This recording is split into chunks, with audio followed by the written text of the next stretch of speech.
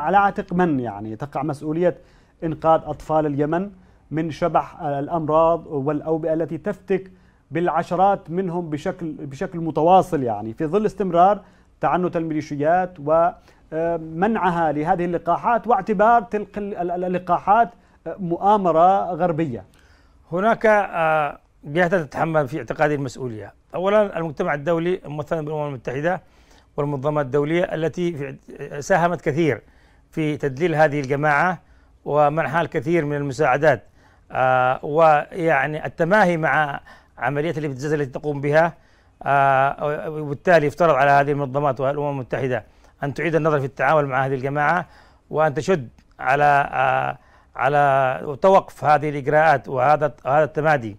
عند حد الشيء الثاني أو يتوقف على أيضا على الشعب اليمني أو المواطنين الذين يقبعون في مناطق سيطرتها. ينبغي أن لا يظلون مكتوفي الايدي آه، وينظرون لأطفالهم وهم يموتون آه، بموت يعني مفتعل وموت يعني معد مسبقا من قبل هذه الجماعة وينظرون إليهم كأن شيء لا يعنيهم. ينبغي على المواطنين أن يحدوا موقف تجاه هذه الجماعة وأن ينتفضوا ضد هذه الجماعة ويطالبون بحقوقهم الصحية منها حقهم في تلقيح أطفالهم من جميع الأمراض الأوبئة التي آه، قد عفى عليها الزمن وهي تعود ثانية إلى الشعب اليمني.